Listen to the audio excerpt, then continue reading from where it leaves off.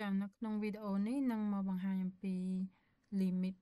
អនុគម exponential អញ្ចឹងមុននឹងចូលដល់បង្ហាញអំពីលំហាត់មួយចំនួន គឺសូមមកមើលថាតើនៅក្នុង limit អនុគម exponential ហ្នឹងមានរូបមន្តសំខាន់សំខាន់ហ្នឹងអ្វីខ្លះចាអញ្ចឹងរូបមន្តទី1របស់យើង គឺមាន limit x ខិតទៅរកបូកអណននៃ e ស្វ័យគុណ x អញ្ចឹងករណីនេះគឺ ពេលដែលយើងមើលតម្លៃ x ខិតទៅរកបូកអណន្តគឺយើងត្រូវជួសបូកអណន្តចូលអញ្ចឹង e សគុណបូកអណន្តគឺស្មើបូកអណន្តមកវិញអញ្ចឹងរូបមន្តរបស់យើងកន្លែងនេះគឺចេញបូកបូកអណន្តរូបមន្តទី2គឺ limit x ខិតទៅរកបូកអណន្តនៃ e សគុណដក x អញ្ចឹងរូបមន្តនេះគឺស្មើស្មើ0ហើយហេតុអីបានស្មើ0គឺមកពីពេលដែល x ខិតទៅរកបូកអណន្តយើងនឹងជំនួសបូកអណន្តចូលអញ្ចឹង ធ្វើឲ្យសញ្ញានេះគុណគ្នាអញ្ចឹងដកគុណបូកគឺចេញដកតែអឺសេគុណដកអណន្តគឺយើងអាចចម្រាស់មកធ្វើជាអឺសេគុណបូកបូកអណន្តនៅខាងក្រោមបានអញ្ចឹងអឺសេគុណបូកអណន្តគឺបូកអណន្តអញ្ចឹងមានន័យថា1លើបូកអណន្តគឺស្មើ0អញ្ចឹងហើយធ្វើឲ្យរូបមន្តរបស់យើងគឺស្មើ0ចាយើងមកមើលរូបមន្តទី3គឺ limit x ខិតទៅរកបូកអណន្ត x សេគុណ n នៃ e សេគុណ x អញ្ចឹងជាទូទៅរូបមន្តរបស់ limit exponential មានន័យថាភាគច្រើនគឺយើងអាចជំនួសមើលបានចាអញ្ចឹងកន្លែងនេះគឺចេញបូកអណន្តស្វ័យគុណ n e ស្វ័យគុណបូកអណន្តអញ្ចឹងបូកអណន្តសេគុណ n គឺនៅតែបូកអណន្តដដែលទេ e សេគុណបូកអណន្តគឺចេញបូកអណន្តអញ្ចឹងធ្វើឲ្យវាចេញបូកអណន្តគុណនឹងបូកអណន្តអញ្ចឹងចម្លើយរបស់យើងគឺចេញមកជាបូកបូកអណន្តរូបមន្តទី4 គឺ limit x ខិតទៅរកបូកអណន្តនៃ x សេគុណ n e សេគុណដក x កន្លែងនេះរូបមន្តគឺស្មើ0ហើយហេតុផលគឺបូកអណន្តស្វ័យគុណ n e ស្វ័យគុណដកឲ្យបូកអណន្តអញ្ចឹងកន្លែងបូកអណន្តសេគុណ n គឺចេញមកបូកអណន្តបន្ទាប់មក e សេគុណដកគុណបូកនេះបាន អឺសគុណដកអណន្តអញ្ចឹងកន្លែងនេះគឺយើងអាចចម្រាស់វាចុះមកក្រោមបានអញ្ចឹងវាធ្វើឲ្យបុកអណន្តនៅលើហើយអឺសគុណបុកអណន្តនៅក្រោមអញ្ចឹងជាទូទៅអានេះគឺចូលតម្រង់អណន្តខ្សោយលើអណន្តខ្លាំងអញ្ចឹងមានន័យថាស្មើ0អឺរូបមន្តទី5ចឹងរូបមន្តនេះអត់បានសេតាមលំដាប់ទេរូបមន្តទី5គឺមាន limit x ខិតទៅរដកអណន្តនៃ e ស្វ័យគុណ x ចឹងរូបមន្តនេះគឺស្មើ0ហេតុផលគឺពេលដែលយើងជួសដកអណន្តចូលទៅកន្លែង x ចឹងយើងអាចចម្រាស់វាមកក្រោមបានចឹងចេញ1លើបូកអណន្តស្មើ0រូបមន្តបន្ទាប់គឺ limit x ខិតទៅរដកអណន្តកន្លែងនេះគឺសុទ្ធតែជួសយកមើលបាននៃដក e សេគុណដក x អញ្ចឹងកន្លែងនេះពេលយើងជំនួសទៅមានន័យថាវាទៅជាអឺសេគុណដកឲ្យដក x អញ្ចឹងដកគុណដកបានអឺសេគុណបូកបូកអណន្តអញ្ចឹងអឺសេគុណបូកអណន្តចេញមកគឺបូកអណន្តមកវិញណាទី7 limit x ខិតទៅរដកអណន្ត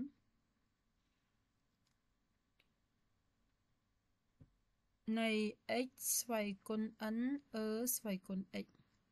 ចឹងរូបមន្តនេះគឺស្មើ0ដោយសារដកអណន្តសេគុណ n គឺចេញដកអណន្តមកវិញអានេះយើងធម្មតាយើងត្រូវគិតករណី n គូ n សេះទៀតប៉ុន្តែឥឡូវនេះយើងគិតទៅថាអណន្តចាស់បន្ទាប់មកវានឹងចេញទៅជា e សេគុណដកអណន្តអញ្ចឹងចម្រាស់ចុះក្រោមដដែលអញ្ចឹងដកអណន្តសេគុណ n ហើយនឹង e សេគុណបូកអណន្តគឺ e សេគុណបូកអណន្តធំជាងណាអញ្ចឹងមានន័យថារូបមន្តយើងកន្លែងនេះគឺស្មើ0អឺ ទី8គឺ limit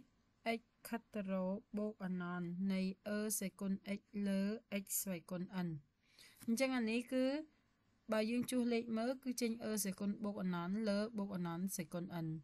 ចឹងបូកអណន្តសេគុណ n ហើយនឹង e សេគុណបូកអណន្តគឺ e សេគុណបូកអណន្តធំជាងហើយបូកអណន្តសេគុណ n គឺឡើងអត់ឈ្នះ e សេគុណបូកអណន្តទេអញ្ចឹងអាហ្នឹងគេហៅអណន្តខ្លាំងលើអណន្តអណន្តខ្សោយ អញ្ចឹងអានន់ខ្លាំងលើអានន់ខ្សោយគឺស្មើស្មើ0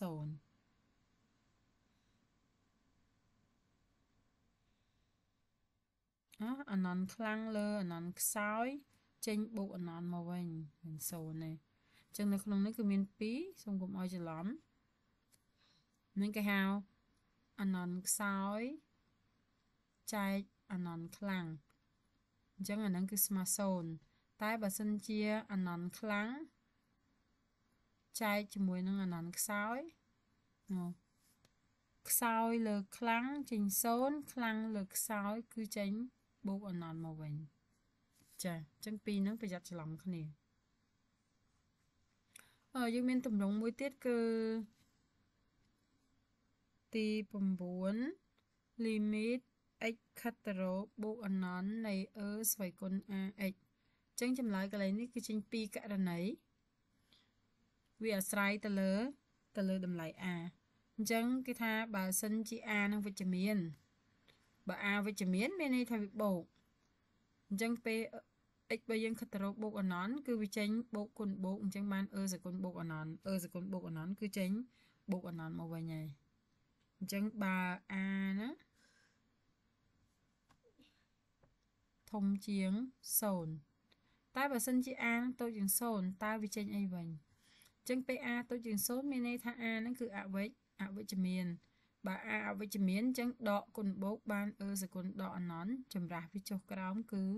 1លើអឺសគុណបូកអណន្តអញ្ចឹង1លើអណន្តគឺស្មើ0អញ្ចឹងនេះគឺជារូបមន្ត limit មួយចំនួន របស់ exponential ដែលយើងភាគច្រើនគឺអាចជំនួសមើលលេខនឹងបាន ហើយចំពោះរូបមន្ត អឺសំខាន់សំខាន់មាន5ទៀតចាយើងគិតថា5ចាអញ្ចឹងមានទី10អឺ limit មួយចំនួននេះគឺយើងអាចទៅជំនួសលេខមើលបានទេ យើងត្រូវការចំណាំរូបមន្តរបស់វាគឺ limit x ខិតទៅ0 e សេគុណ x ដក1លើ x គឺស្មើស្មើ1ទម្រង់រូបមន្តនឹងគឺមាន2គឺ x ខិតទៅ0នៃ e ស្វ័យគុណអ្វីដែលផ្សេងពី x ឧទាហរណ៍ថា e សេគុណអ ax ចុះដក1លើ ax អញ្ចឹងអានឹងក៏ស្មើ1ដែរអញ្ចឹងនិយាយរួមគឺបើសិនជាតម្លៃវា x ខិតទៅ0ហើយ e នឹងគឺស្វ័យគុណអីភាគបែងវានឹងមកអញ្ចឹងចម្លើយនឹងគឺចេញ1ជានិច្ចដែរអ រូបមន្តហ្នឹងគឺស្តៀងគ្នាជាមួយរូបមន្តមួយនេះគឺអ limit x ខិតទៅ0នៃ a ស្វ័យគុណ x ដក1លើ a អញ្ចឹងកន្លែងនេះគឺចេញមកគឺលោកនៃពែនៃនៃ a អឺមានរូបមន្តមួយទៀតគឺគេហៅ limit x ខិតទៅបូកអណន្តអានេះគឺទម្រង់ជា limit ដែលមានតម្រង់1ស្វ័យគុណអនន្តចឹងតម្លៃរបស់វាគឺស្មើអឺជានិច្ចអានឹងចំពោះ x ខិតទៅបូកអនន្តតែបើសិនជា x នឹងគឺខិតទៅដកអនន្តវិញ វាគ្រាន់តែបដូរតម្រង់បន្តិចទេដូចដែលយើងតាងចឹងចឹង1បូក1លើ x អានេះ x ខិតទៅ0មិនមែនខិតទៅដកអនន្តទេ គឺពេល limit x កាត់ទៅ0នៃ1បូក x ស្វ័យគុណ1លើ x ក៏ស្មើអឺដែរអានេះមានន័យថាបើសិនជាយើងតាង1លើ x នឹងធ្វើជាអក្សរអីផ្សេងអញ្ចឹងវានឹងបដូរទម្រង់បែបហ្នឹងអញ្ចឹងអានេះគឺជារូបមន្តសំខាន់សំខាន់ដែលយើងប្រើនៅក្នុង limit អនុគម exponential ឥឡូវយើងមកមើលលំហាត់មួយចំនួនរបស់យើងគឺថាតើវាមានលំហាត់បែបម៉េចវិញ ចាអញ្ចឹងនៅក្នុងលំហាត់ limit exponential គឺវាមានដូចជា limit ទូទៅដែរវាមានករណី limit រៀងកំណត់និង limit រៀងមិនកំណត់អញ្ចឹងឧទាហរណ៍យើងមកកលេចមើលលំហាត់ limit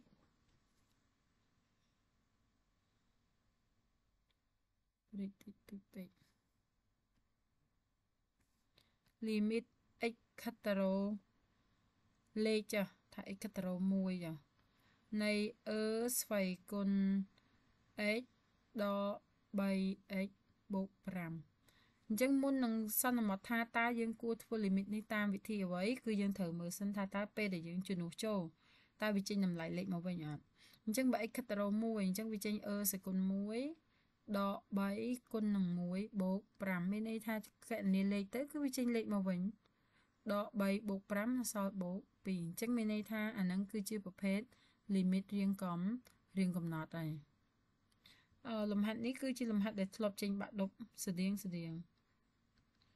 x ខិតទៅរក0អឺសេគុណ x បូក2លើ3អឺសេគុណ x គាត់កន្លែងនេះអត់ចាំថាលេខមិនទេតែបាក់ដប់គេធ្លាប់ចេញលំហាត់ស្តៀងហ្នឹងគឺអឺស្វ័យគុណមាន x ខិតទៅរក0ហើយចេញមកទម្រង់ប្រភេទអញ្ចឹង អញ្ចឹងកន្លែងហ្នឹងគឺយើងត្រូវជំនួសមើលរៀងនៅលើกระดาษព្រៀងសិនទៅអឺសេគុណ0បូក2លើ3គុណអឺសេគុណ0តើចេញលេខមកវិញអត់ចឹងជាទូទៅមួយចំនួនសគុណ0គឺស្មើ1អញ្ចឹងមានន័យថាកន្លែងនេះចេញ1បូក2បើយើងចង់ចំនួនមួយក៏បានអឺសគុណ0បូក2លើ3អឺសគុណ0អញ្ចឹងអឺសគុណ0ស្មើ1បូក2លើ3គុណនឹង1អញ្ចឹងស្មើ3លើ3 អញ្ចឹងចម្លើយគឺឃើញ1អានឹងគឺករណី limit រៀងកំរៀងកំណត់អញ្ចឹងមិនមែនមានន័យថាឲ្យតែ limit គឺសុទ្ធតែរៀងអឺមិនកំណត់អស់ហើយអញ្ចឹងវាអាចជារៀងកំណត់ដែរបើសិនជាយើងជំនួសទៅចេញជាលេខចាឥឡូវយើងមកមើលតើ limit រៀងមិនកំណត់ហ្នឹងវាអាចចេញរៀងអីគេខ្លះអញ្ចឹងឧទាហរណ៍ថាគេឲ្យ limit x ខិតទៅរបូកអណន្តនៃ3អឺស្វ័យគុណ x ដក 7x បូក2ចាអញ្ចឹងយើងចង់ដឹងថាតើ limit នឹងធ្វើបែបណាយើងត្រូវគិតមើលសិនថាបើសិនជាយើងជួសបូកអណន្តចូលកន្លែង x អញ្ចឹងវាចេញ e សគុណបូកអណន្តដក7ទៅគុណជាមួយបូកអណន្តអញ្ចឹង e សគុណបូកអណន្តលេខ3មុខនេះយើងមិនបាច់គិតក៏បានដែរអញ្ចឹង e សគុណបូកអណន្តគឺបូកអណន្តតែដក7គុណបូកអណន្តគឺចេញដកអណន្តអញ្ចឹងនេះគឺគេហៅថារៀងមិនកំណត់ បូកអណន្តដកអណន្តអញ្ចឹងយើងត្រូវដើរតាមក្បួនរបស់គេយើងនៅក្នុងក្បួនការកណនានិមិត្តរៀងបូកអនន្តដល់អនន្តយើងត្រូវការចាប់លើក្រេខ្ពស់ជាកតាអញ្ចឹងយើងត្រូវមើលថា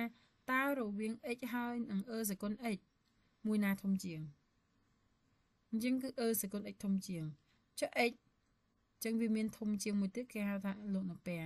អញ្ចឹងរវាង3អ្នកហ្នឹងគឺ e សកុន x ធំជាងគេបន្ទាប់មក x បន្ទាប់មកលោកនៅពែនេះគឺតូចជាងគេហើយ អញ្ចឹងពេលដែលរៀងបូកអនន្តដកអនន្តយើងត្រូវការចាប់លើការ៉េខ្ពស់ជាកតាអញ្ចឹងពេលចាប់កន្លែងនេះគឺយើងអត់ចាប់ x ទេដោយសារ e សគុណ x ធំជាង x អញ្ចឹងយើងត្រូវចាប់ e សគុណ x ជាកតាវិធីចាប់គឺដដែលទេ បើសិនជាតួនឹងអត់មាន e សគុណ x យើងត្រូវការចែក e សគុណ x ហើយបើមានហើយយើងយកចេញធម្មតាទៅ ចាពេលដែលចាប់ហើយយើងចាប់ផ្ដើមជួសលេខ e សគុណបូកអនន្តគឺបានបូកអនន្តមកវិញ នេះមានន័យថាយើងជំនួសកន្លែងនេះជំនួសទៅវាចេញ e សគុណបូកអនន្តណាដក 7x លើ e សគុណ x អាហ្នឹងគេហៅតម្រងអនន្តខ្សោយលើអនន្តអនន្តខ្លាំងជាយើងអាចដាក់ជា0បូកលេខលើអនន្តក៏0ដែរអញ្ចឹង e សគុណបូកអនន្តទៅគុណជាមួយ3អាហ្នឹងគឺស្មើបូកអនន្តមកវិញហើយហើយបើយើងចង់បញ្ជាក់យើងអាចបញ្ជាក់គេបានពីព្រោះ limit x ខិតទៅរបូកអណន្តនៃ 7x លើ e សគុណ x គឺចូលតម្រងខ្សោយលើខ្លាំងអណន្តខ្សោយលើអណន្តខ្លាំងយើងស្មើ0ហើយមួយទៀតគឺ limit x ខិតទៅរបូកអណន្តនៃ2លើ e សគុណ x គឺស្មើ2លើអណន្ត2លើអណន្តគឺស្មើ0ចាឡើយយើងមកមើលមួយទៀតគឺករណីអានេះករណីរៀងបូកអណន្តដល់អណន្ត ចឹងមានករណីមួយទៀតគេហៅករណីអនន្តលើអនន្តអញ្ចឹង3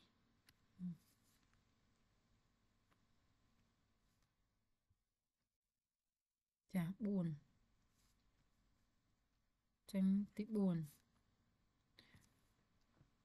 ទី4គឺយើងមកមើលតម្រង limit x ខិតទៅបូកអនន្ត នៃ3អឺសេគុណ x ដក2លើអ2អឺសេគុណ x បូក 5x ដក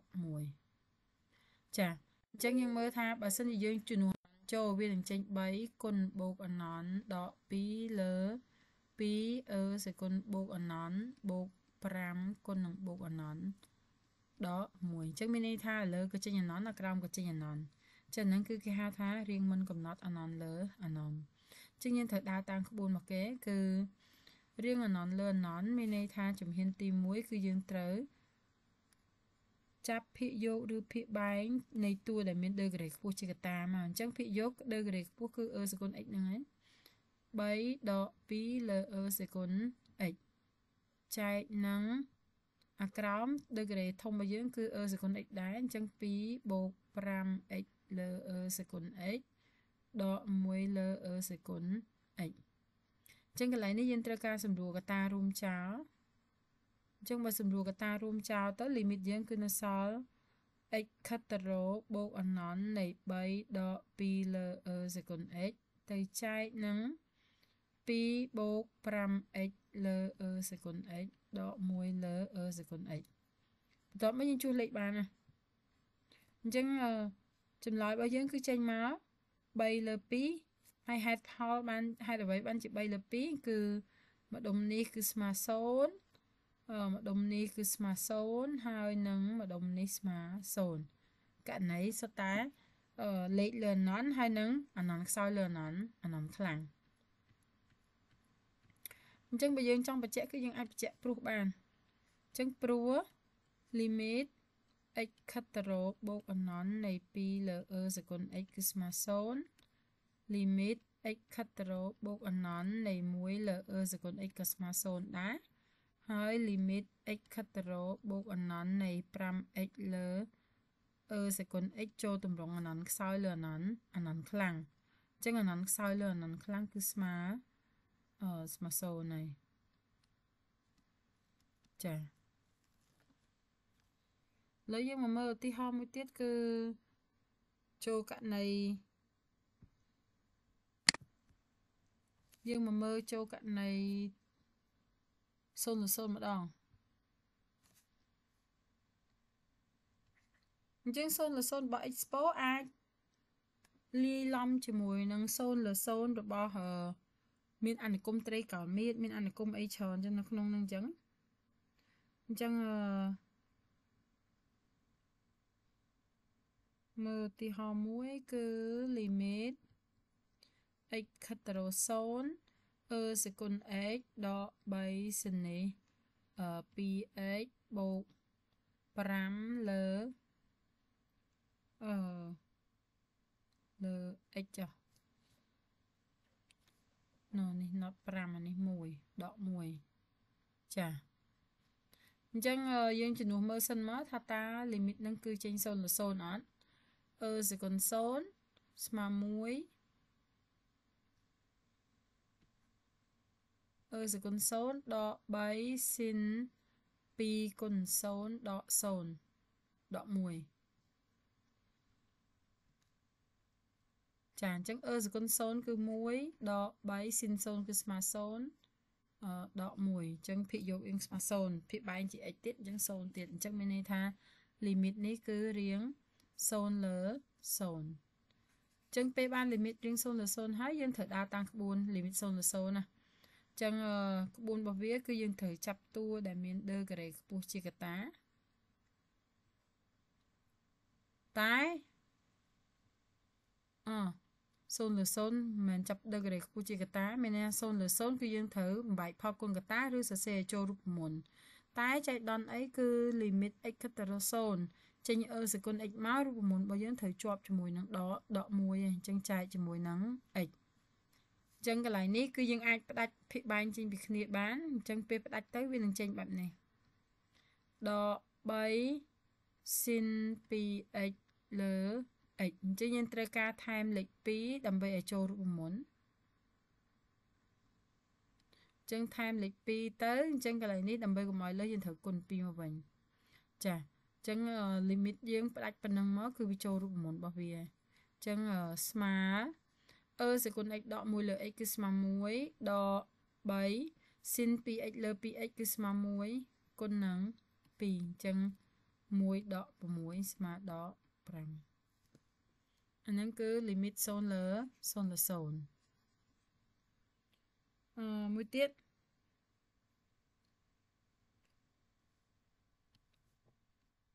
ទី6 limit x ខិតទៅ0 e សេគុណ 3x ដក1លើលើ x អញ្ចឹងបើយើងជំនួសទៅ គឺរៀង0លើ0ដែរអញ្ចឹងយើងត្រូវការបំបែកវាឲ្យចូលរូបមន្តតិចទៅឃើញ e នេះសេគុណ 3x ហ៎អញ្ចឹងមានន័យថាភាពបែងរបស់វាគឺត្រូវការ 3x ដែរអញ្ចឹងយើងអាចថែមលេខ3ទៅហើយថែមកុំឲ្យលើអញ្ចឹងមានថាថែមលេខ3ក្រោមលេខ3លើ អញ្ចឹងពេលដែលកន្សោមលីមីតអឺសេគុណ 3x ដក1លើ 3x អាហ្នឹងគឺស្មើ1អញ្ចឹងចម្លើយយើងចុងក្រោយគឺស្មើ1គុណនឹង3ស្មើ3ចាយើងមកមើលមួយទៀតគឺករណីដែលត្រូវការថែមលេខចឹងទី7គឺ limit x ខិតទៅរ0 e សេគុណ x ដក e សេគុណដក 2x លើ x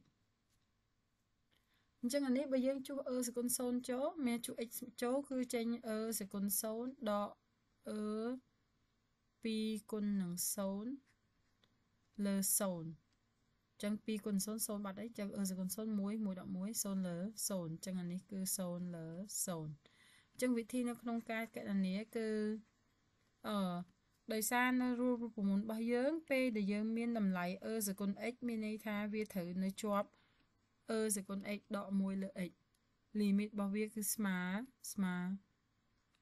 ស្មើ1ហើយអញ្ចឹងកន្លែងនេះគឺយើងត្រូវការផ្ដាច់ឲ្យបន្ថែមលេខឲ្យយើងផ្ដាច់មក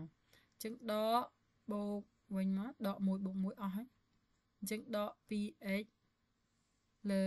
x អញ្ចឹងពេលដែលតម្លៃពេលដែលយើងមានភាពបែករួមអញ្ចឹងគឺយើងអាចផ្ដាច់ចេញពីគ្នាបានអញ្ចឹងចែកនឹង x បន្ទាប់មករូបមន្តរបស់យើងគឺ e មកមុនអញ្ចឹងអានេះយើងត្រូវការចាប់ដកជាកតាមកអញ្ចឹងកន្លែងនេះបូកពេលយើងចាប់ដកចេញទៅ គឺវានឹងចេញទៅជាដកវិញហើយដក1ទៅចែកជាមួយនឹង x ក៏ប៉ុន្តែជាទូទៅឃើញថាអឺ e សេគុណដក 2x លេខរបស់វាដក2អញ្ចឹងមានន័យថាកន្លែងនេះយើងត្រូវការថែមដក2ហើយទៅគុណជាមួយដក2មកវិញហ៎អញ្ចឹងចាប់ផ្ដើមជួសលេខ limit x កត្រ0អឺសគុណ x ដក1លើ x គឺស្មើ1ដកឲ្យអឺអឺសគុណដក 2x ដក1លើដក 2x អញ្ចឹងគឺស្មើស្មើ1ដែរអញ្ចឹងគុណនឹងដក2នេះដក2នឹងដក2នៅកតុយនេះ ដកពេលដែលយើងថែមអញ្ចឹងពេលគុណហើយគឺស៊ីសងលេខទៅដកគុណដកបូកអញ្ចឹងស្មើ1បូក2អញ្ចឹងស្មើ3អាហ្នឹងគឺជា limit រៀង0ដល់0ចាអញ្ចឹងអាចមើលឧទាហរណ៍នេះហើយអាចវឹកហាត់ធ្វើម